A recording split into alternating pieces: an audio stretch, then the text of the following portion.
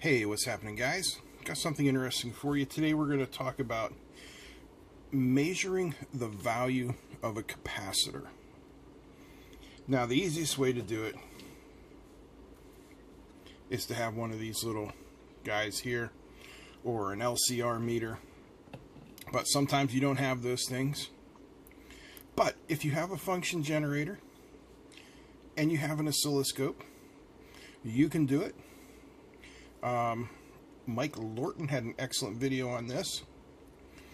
And uh, we're going to do it here today. What we have here is a capacitor of an unknown value. No, I know what the value is, but you don't. And we're going to measure it using the time it takes to charge to 63.2%, which is a value of Euler's number if you're not uh, really up into the whole mathematic things, Euler's number is a mathematical constant. It is a real and a rational number, and it's basically 2.71828182845 yada yada yada yada. It's a natural logarithm, okay? And that's the point that we need to know. So just a little under two-thirds charge is going to give us the value of our capacitor. So to set up the experiment, the first thing we need to do is set up our function generator. Okay, now holding down duties today as function generator is the Siglent SDG 1032X. Very nice function generator. Did a review on it a little while back. I will link to it below and it is set up to provide a square wave pulse at 1 kilohertz, 1 volt peak to peak, and I'm offsetting it by 1 volt, so we're always at a positive charge. That's it. That's all we need to know about the function generator. Alright, second is our setup for the capacitor. Now here is the output from the function generator positive and ground. And we need to charge our capacitor. Now, we need something to slow down the charge.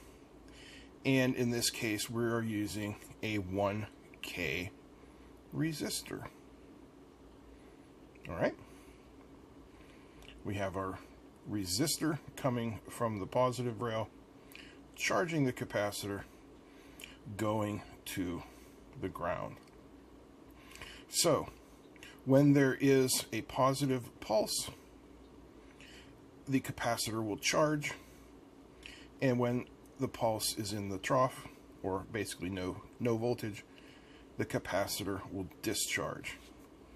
And then I have my probe leads hooked up basically across the capacitor. I have it plugged, my ground plugged into the ground here, but you could just as easily plug it in right here. And it will work out the same. Okay, now working today in the role of the oscilloscope is the Siglent SDS1202X-E 200 megahertz 1 gigasample per second scope. This is the latest and greatest scope from Siglent. Just out, fresh off the market, doesn't even have hair in its armpits yet. This is a nice scope. So, what you see here is the charge and discharge cycle of the capacitor. Here we are at the zero point and it charges up. It saturates right there. Then the pulse goes low and it discharges. So the first thing we need to do is get our cursor menu on and we're going to measure Y. So we will put this cursor right there. And this cursor will go right here at the bottom.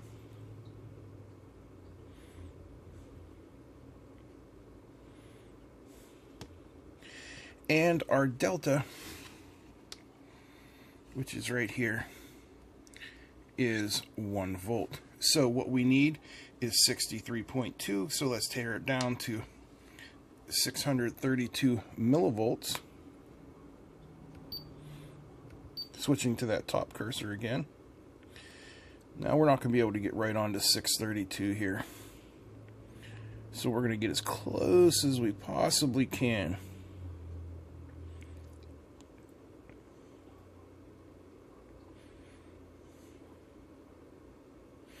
Okay, so we have made it to 630.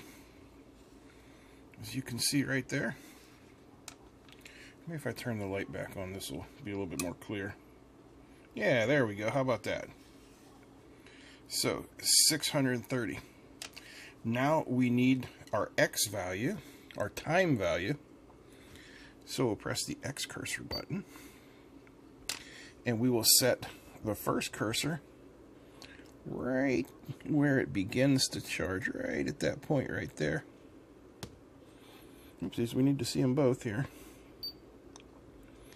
And then we're going to set our second cursor, our second X cursor, right to the point where that 63.2 line crosses our charge line. There we go right like that. And where our X delta reads 68 microseconds, that's going to give us the value of our capacitor, which it is telling us in this case is 68 microseconds.